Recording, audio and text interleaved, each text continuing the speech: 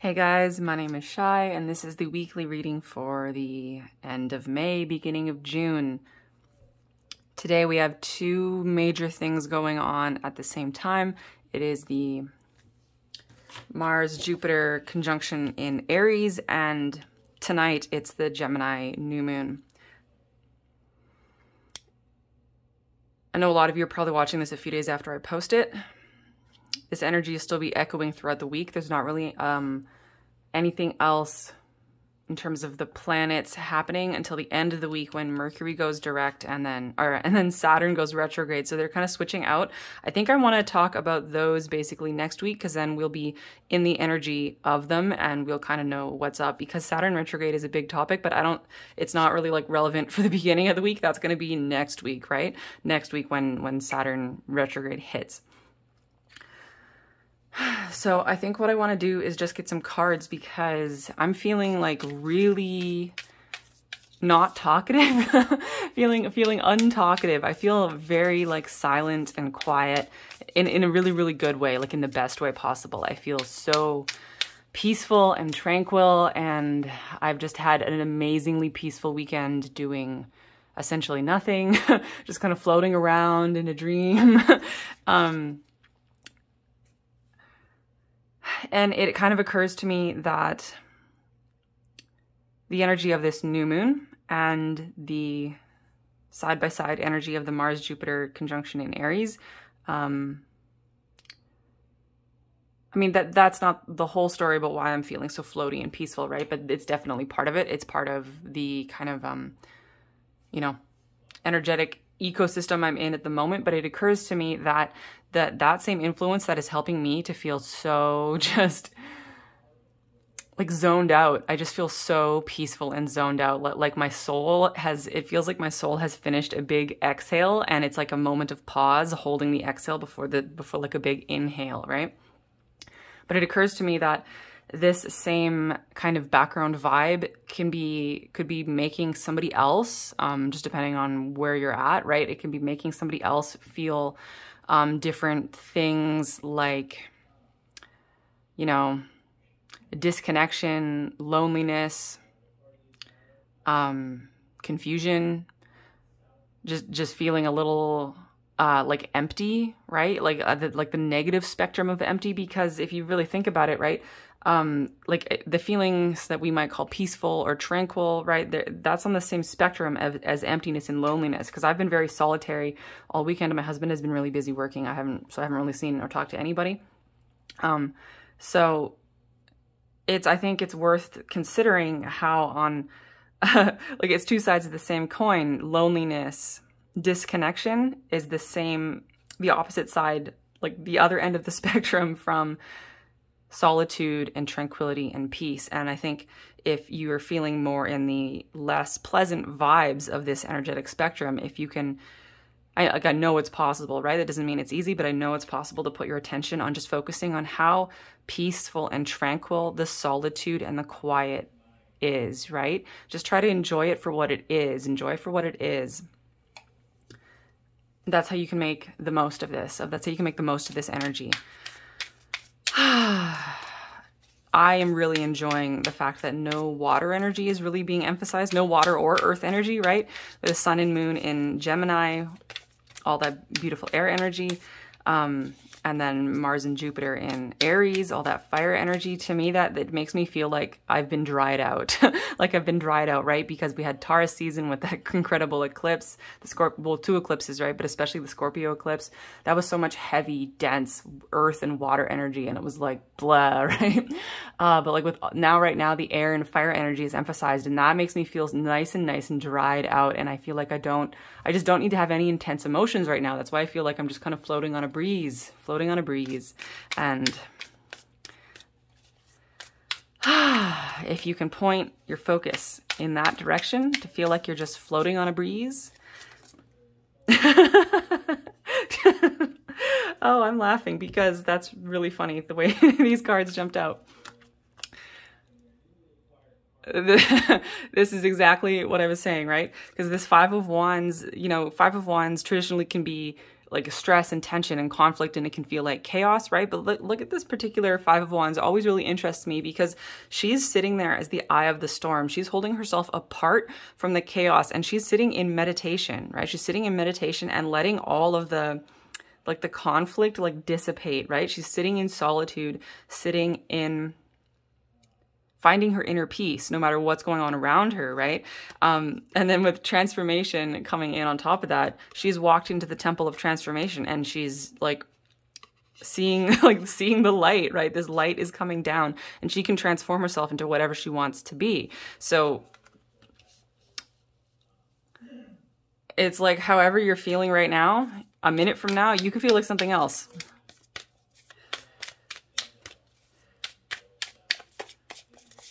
because I think we're still integrating those eclipses. I mean, because we're going to have another round of those eclipses in Scorpio season, right? Like it's a little bit less than six months from now, that's going to come around again. So this, this, this, the, whatever you just went through over the eclipses isn't entirely gone away. Um, you could still be working on integrating it.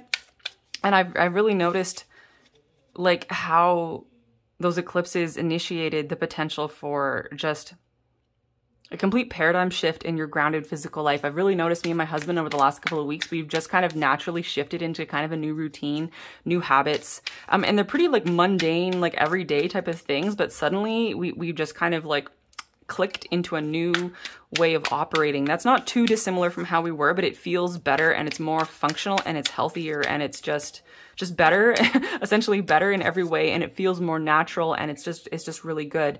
So that's part of the Mars Jupiter conjunction, I think, as well, because that's allowing this like purification and reset of your your spark, right? A purification and reset of your spark, if I were to give a rather vague description of what that energy feels like to me, but that's the best way I can put it right now. What else we got? Three of Swords. Yeah, so some people are are feeling are feeling it, right? When when I was thinking that not everyone is like floating on a breeze right now. um, yeah, because you could be feeling feeling the loneliness, feeling the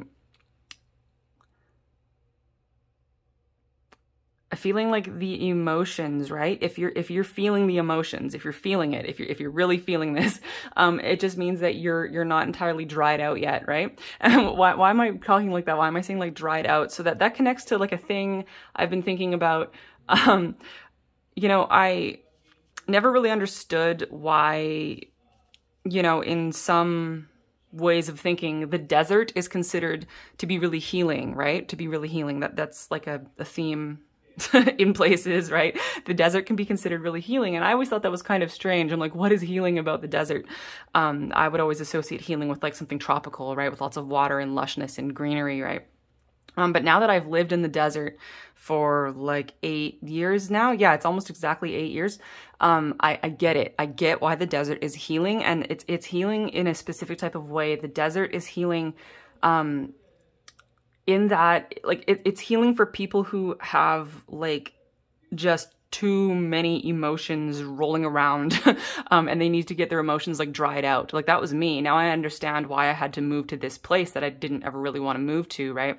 Um, but literally just being out in the desert, like walking out into the desert, and there's nothing but sand and sun. And here we have sand and sun and sagebrush, right? So it's sand and sun and sage, and you walk out into the desert, the desert, and it's just so hot and it's so dry, and it's like it just dries you out of all of your emotions, and you just feel the air like and the wind and the sand and the sun right? And the smell of the sage or if it's not a sage desert right? It's just like the smell of the sand the smell of the emptiness.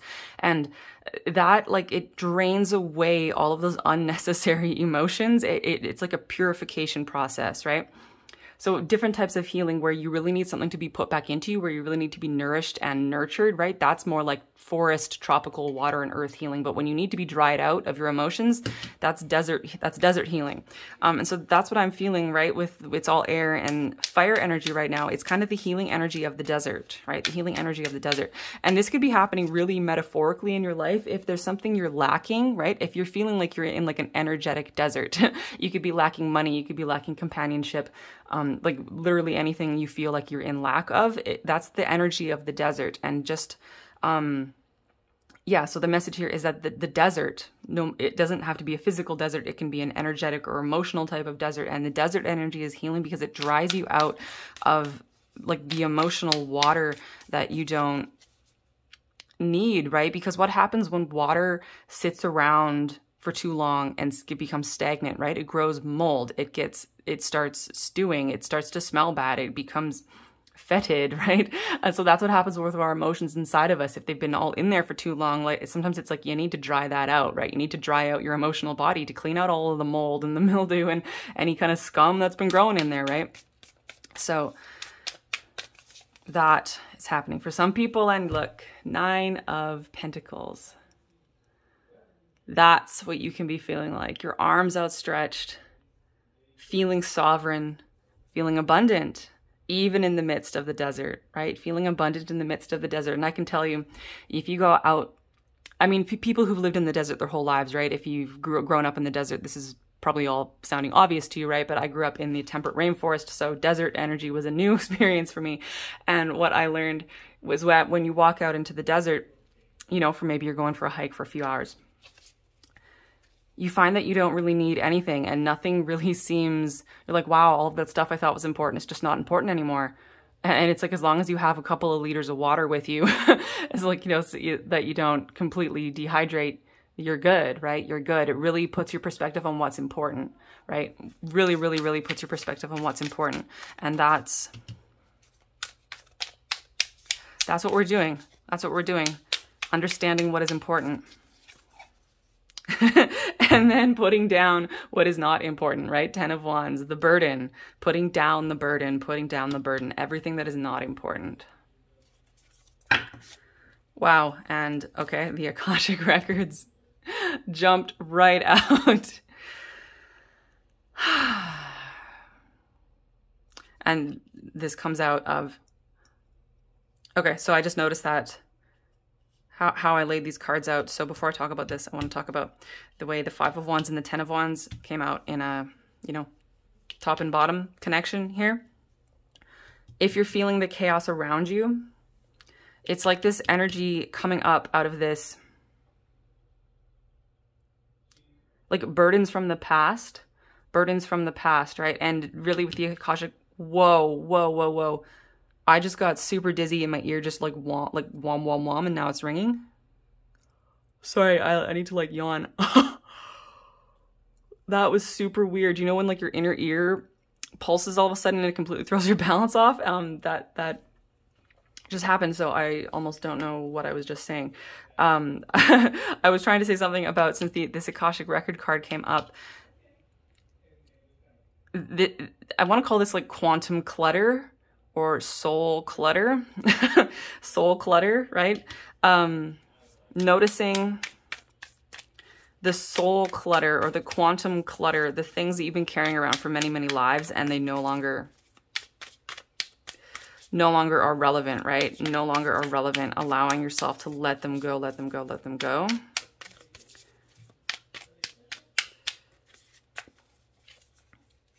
King of Wands. you know when I said the Temple of Transformation? I was thinking about this card because to me, that's what she's doing here. Sometimes this card comes out with the Tower in this deck and she's walking into the Temple of Transformation. That's how I see this Page of Wands. So walking into the Temple of Transformation to be reborn, to be reborn. That's essentially actually what Mars is doing as Mars is conjunct Jupiter, right? He's walking into the temple of transformation to be reborn, to be purified, and to be like born anew. When you walk into the temple of transformation, right, you leave behind a bunch of the things that simply can't come with you. Because it's like um, pur purified in fire is, is this energy, right? Purified in fire. Just like you walk out into the, into the desert and your emotional body is dried out. You are purified, right? You are, you're lightened, right? You are lightened of all of that unnecessary scum.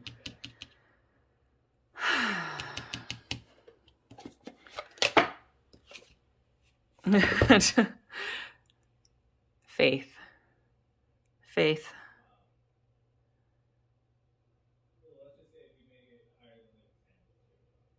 I want to read from the book on this. I was like tapping this card and then I grabbed this deck and that card jumped out. So what is this? I have not seen that card before. I've noticed, you know, it used to be that when I bought a new deck, I would sit and go through every single card, but now I have so many decks that I kind of stopped doing that and I just kind of get to know the, the deck, the cards as I'm using them. and then I find it's really interesting the way that cards jump out for the very first time when I see them for the first time. So let's see what this is. Fertility and abundance now return. Things will get better. Growth has started. Hold on to your dreams in adversity. I know all will be well. It is in the darkest times that we find it hard to see the light. It is hard to see when things seem hopeless how we can ever feel hope again. When things seem to fail, it is really difficult to draw up our resilience and stand up again. We learn by observing the seasons that light does return. The barrenness of winter turns infinitely and surely into spring. The ice melts, the days grow longer, and the nights grow shorter. Warmth and fertility slowly return to the land. It is hard to have faith in ourselves and the universe. I actually think that faith is the real F word. Faith requires us to let go of our anxieties and have trust, perhaps in something we can't actually see yet. Having a more complete faith in yourself and a higher power to lead you to your greatest good is a solid intention. While having a rigid blind faith does not serve us, it is important to hold on to our dreams and intentions and to focus on the outcome. To do this without taking note of what is happening around us can be folly. Our ancestors would observe nature carefully, looking for the signs of new life and fertility, altering their hunting or planting to best take advantage. Yet they knew that the ice would melt and the soil, damp and ready, teeming with worms, would receive their seeds.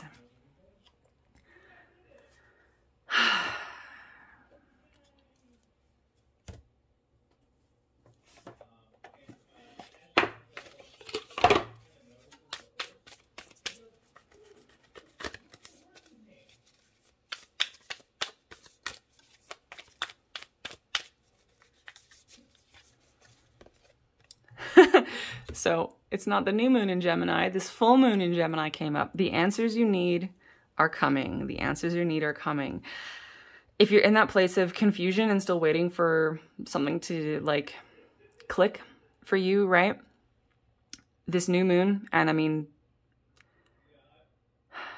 the Mars Jupiter thing,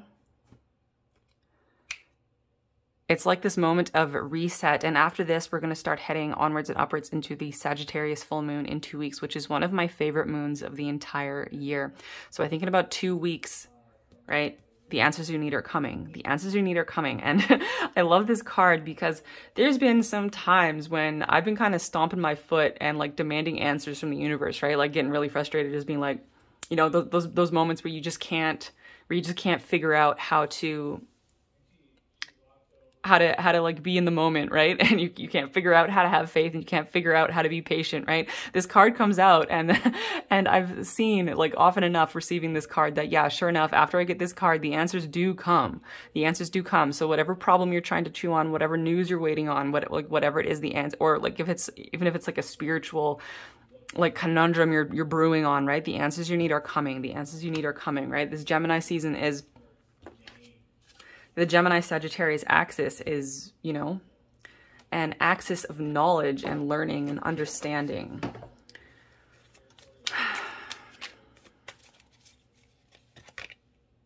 Serendipity. It's all going to work out, guys. It will. It will. It will. It will. Serendipitously. You know, and with Mercury going direct, that means all of that weirdness, you know, all the Mercury retrograde weirdness of just the vibes being off. It's funny, I um this Mercury retrograde I noticed was felt like a little bit different, at least for me.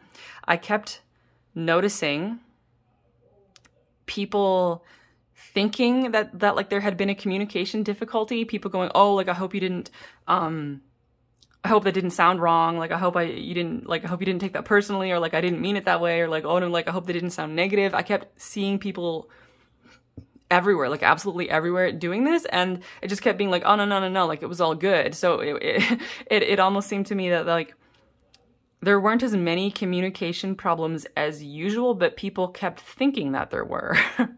at, least that that's how it panned out from my perspective, right?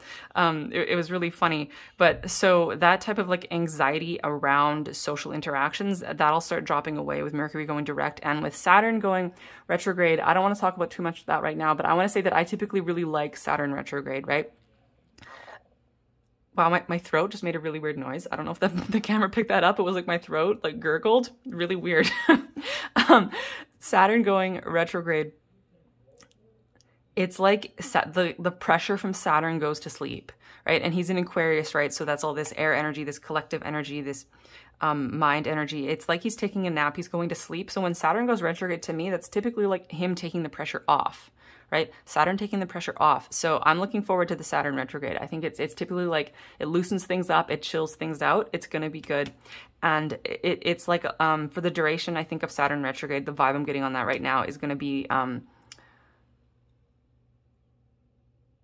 I feel like he won't be hammering home so many hard lessons because we've had a lot of that recently and there's going to be a little bit of break from this and that's going to open us up to this type of serendipity, right? The answers you need are coming. Things are going to be falling into place. Have faith in this, right? Have faith in this. And you are entering the temple of transformation. I mean, you're already in it. You're already in the temple of transformation. What am I saying? Entering it, right? You're already in it. You're about to come out the other side, right? Maybe, you know what? the feeling I get is that I, I don't know why. Like, I don't know why this is, but that Scorpio full moon eclipse that I don't know when we'll be done talking about it because it was so damn intense, right? Um, like the vortex of it that everyone had to go through this massive purge process, right? I like I got through that like actually a few days before the full moon happened. Um and it was super intense, you know, like I mentioned I got physically sick as I was like purging all of this energy. It was like nuts. Um but I, I got through it a couple days before the full moon and ever since then I've been doing like I've been kind of like floating on a cloud, right? But I noticed that's like from this reading, like I sat down and I was talking about how, you know, light and breezy I've been feeling, but I knew that not everyone is feeling that way. I think it's still the lingering effects of that full moon. So it's interesting to me. I'm not really sure why. Like some people got out of that full moon vortex like really early, and some people are still lingering. Um, and the kind of like what it feels like to me is if you're still lingering in those emotions from the last full moon two weeks ago, it's like you got stuck in the wormhole, right? And how I'm kind of seeing this right now is like there's like a portal there's a portal and then like the wormhole in between it, right? Or, you know, in normal everyday terms, that would just be like a doorway, a hallway, and a doorway, right? So some people are stuck in the doorway and that's not bad, right? Like that's, it, this isn't like a comparison game or competition. This is all kinds of reasons why it's like some people just ran. some people sprinted as fast as they could. So like that's what I did, right? I sprinted as fast as I could to get through that hallway. Like cuz I was like I don't like this hallway. I'm going to I want to get through it as fast as I can. Um maybe that's why I got physically sick as I was purging the full the full moon eclipse Scorpio blah blah blah energy right because i was like i'm doing this really fast so i like torpedoed myself through it really fast other people are taking a more lingering path, winding around, maybe looping backwards, right? And maybe it's really, really relevant for some people to be doing that because maybe you wanted to explore this energy a little bit more, right? Maybe you wanted to make sure you didn't miss anything. Maybe you wanted to, or maybe you just didn't want to have to purge all of it at once, right? Sometimes it's easier, you know, it's just like cleaning, cleaning your house, right? You could try to clean your entire house all at once in like two hours, right? But then you'd have to go really fast and it'd be really exhausting and maybe you wouldn't get as good of a job done, right? So if you wanted to clean your house, over the course of a week, like slowly just doing one room at a time, right? Then it would take longer and you might double back and then you might have to re-clean something again because it's already gotten dirty. But you know, there's no, it's just like whatever, right? you, you, you get through this hallway, you get through this wormhole as quickly as you like. And there are benefits to going fast and there are also benefits to going slow and taking the winding path. And it's just however it works out for you. But you know, this thing about the temple of transformation and having faith that you're going to make it to the end, right? You, you're getting ready to pop out the other side. Getting ready to pop out the other side. And the energy is going to continue to shift. Continuing to shift. And just focusing on focusing on like frequencies of lightness, right? Of peace, of tranquility, of solitude, of, of breeziness, this jumped out, but I don't, i am to get two cards. Maybe there's some one card for some people and another card for other people. I got my eyes closed. Okay. Okay, so I'm to read both of these. This is the one that jumped out. So this is for somebody. If this doesn't, doesn't resonate, hang with me. I'm to read the other one too. Listen to the call of spirit leading you to a new way. Greater freedom is energizing you from the inside. You may have been feeling anxious, wondering if you'd be able to figure out the next step you need to take when an opening arises. Recognize this as a moment of initiation before you encounter forward momentum again. New friends and helpers will find their way to you through the law of love and will equip you with the tools and resources you'll need. Courageous soul, as you remain open and receptive to their knowledge and wisdom, honoring your own truth and experience, your pathway will be uncovered. You will emerge wiser and surer of who you are and what you are willing to stand for. Other message life's little luxuries. This beautiful meadow with the trees. Oh, the call of duty seems endless, and oftentimes it is. Your soul has been wearied and is in badly need of a playful respite. You are invited to temporarily release yourself from the dreariness of have tos, shoulds, and musts. No doubt you will now be given the opportunity to dance with the silly and whimsical things of life. Take in the scenery by inhaling the aroma of everything delicious and spontaneous. So this this is the two ends of the frequencies of you know what I was mentioning, right? You can be feeling easy breezy, whimsical, taking a break, feeling all dried out and just peaceful and playful, right? Or you can be feeling like you're still working on integrating and releasing and you know making it through making it through that hallway, right? Wherever you're at, you got this, right? You got this. Sending you guys so much love and light. Talk to you later. Bye.